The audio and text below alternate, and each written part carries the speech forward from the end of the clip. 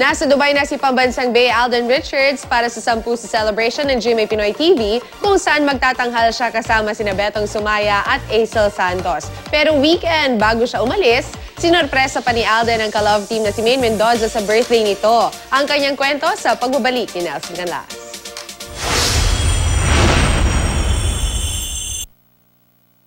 Nagtatampo kasi ako dito, as in, four days na ako nagtatampo sa kanila.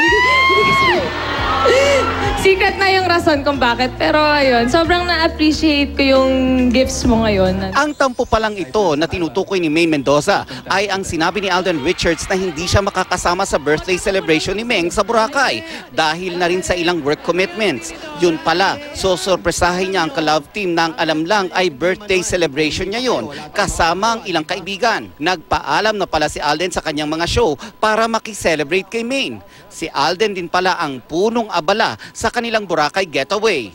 Wala pong nakaalam. Konti lang kami. I mean, yung pinsan ko, tapos yung mga kasama, kasama ko, nagsabi lang ako sa kanila.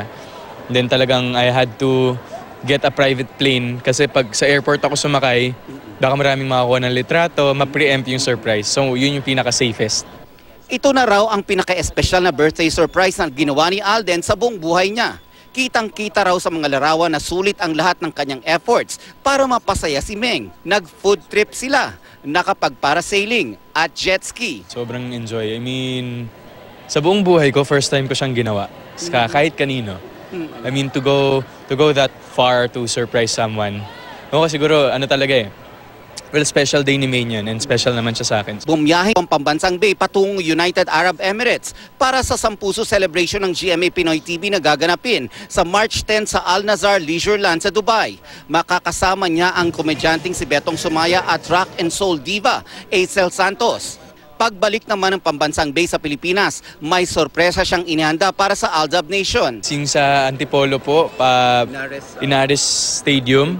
So makita-kita po tayo dyan sa March 18 po. Yan, so tickets are still available po. So kita-kits po, Aldab Nation, tsaka Aldinatics. Nelson Canlas, GMA News.